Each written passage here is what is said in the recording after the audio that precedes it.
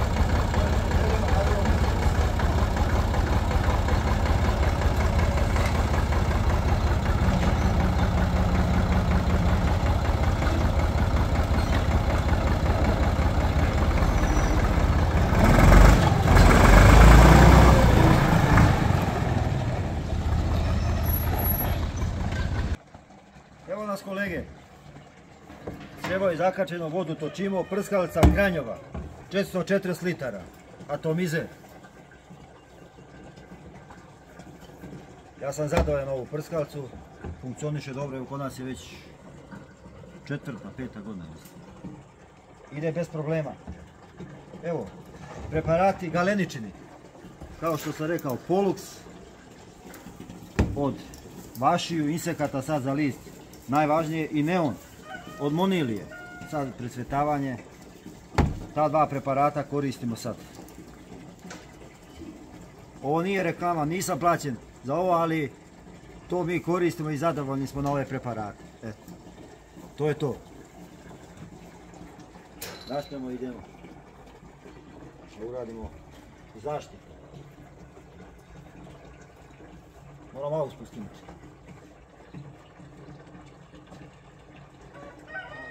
E, smesku smo napravili, samo da naspijemo, evo je. Prskalica je ona puna. Vod- Poluksa ide od 30 do 50 ml na 100 litara vode, a neona ide 50 ml na 100 litara vode. Tolika je koncentracija. E, to je to. Neka onda ovo bude nek se puni vode ova. Posle samo otvori tamo bure i to kad budeš. Krećemo da pršimo, rana uniforma je tu, maska je tu, rukavice su tu.